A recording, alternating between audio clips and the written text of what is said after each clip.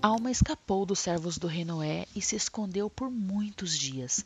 Ele escreveu os ensinamentos de Abinadi e se arrependeu de seus pecados. Ele ficou escondido entre o povo nefita e ensinou-lhes a mensagem de Abinadi de arrependimento e fé em Jesus Cristo.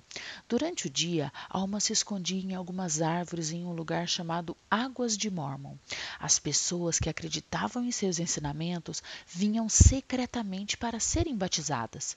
Alma batizou 200 quatro pessoas e elas se tornaram membros da Igreja de Cristo.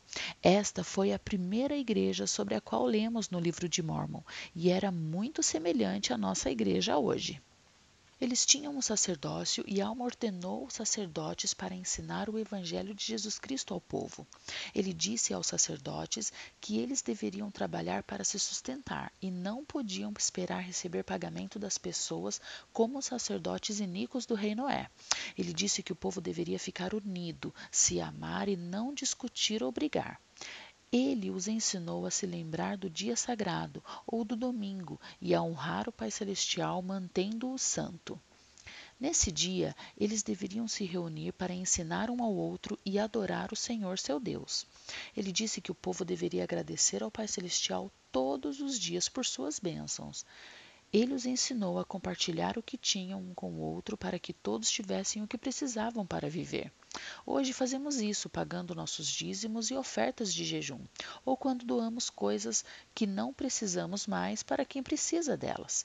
Alma ensinou seu povo a cuidar um do outro, tanto física quanto espiritualmente, e nossos profetas e líderes nos dão essa mesma instrução hoje. O povo de Alma aprendeu a amar e servir uns aos outros e estavam agradecidos por terem aprendido sobre Jesus Cristo. Os servos do rei Noé viram Alma ensinando o povo e pensaram que ele estava colocando o povo contra o rei.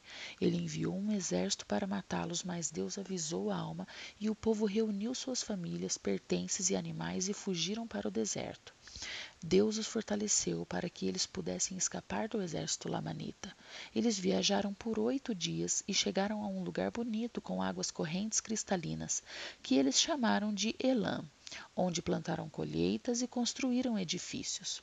O povo queria que Alma fosse seu rei, mas ele disse que Deus queria que eles fossem livres e não tivessem um rei. Quando somos batizados, nos tornamos membros de a Igreja de Jesus Cristo dos Santos dos Últimos Dias e nos juntamos ao rebanho de Deus, o que significa que nos tornamos uma de suas ovelhas.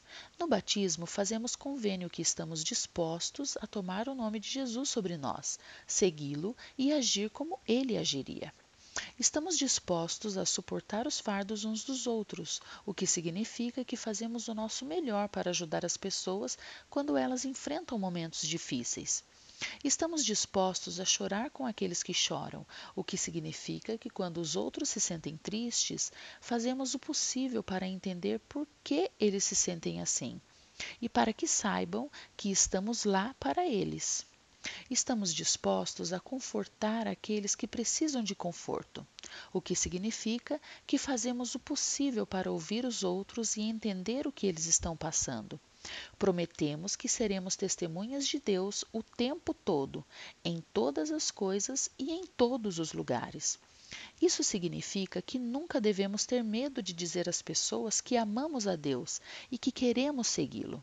Prometemos a Ele que o serviremos e guardaremos seus mandamentos. Precisamos fazer o possível para cumprir nossos convênios para que o Pai Celestial possa nos abençoar. Ele nos dará forças para fazer isso e prometeu que, quando guardarmos nossos convênios, Ele nos redimirá e ressuscitaremos na manhã da primeira ressurreição. Ele nos perdoará por nossos pecados se nos arrependermos e podemos receber a vida eterna, que é o tipo de vida que o Pai Celestial vive.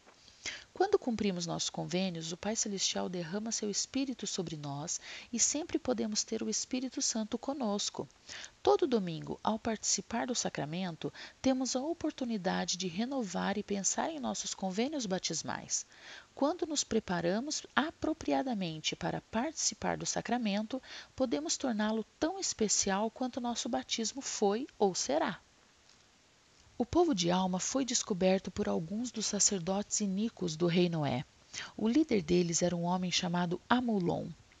Ele lembrou que Alma era um sacerdote do rei Noé e estava com raiva por Alma ter partido e pelo seu povo ter escolhido seguir os ensinamentos de Abinade sobre Jesus.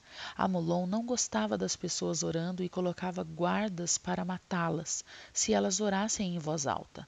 Alma lhes ensinou que eles poderiam orar silenciosamente em seus corações e que Deus conheceria seus pensamentos.